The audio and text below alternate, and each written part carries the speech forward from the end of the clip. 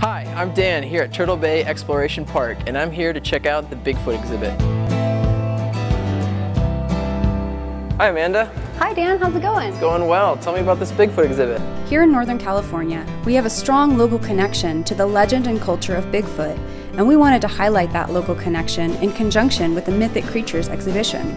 Even though the existence of Bigfoot is controversial, we want our guests to decide for themselves. Our exhibit, Bigfoot in Our Backyard, exposes our visitors to everything from Bigfoot sightings to track casts to artwork and branding. You'll even learn about real life scientific experiments and have the opportunity to contribute to our Bigfoot poll. Next, I went to the museum store and coffee bar to check out the Bigfoot merchandise, including a tasty Bigfoot chocolate and caramel shake.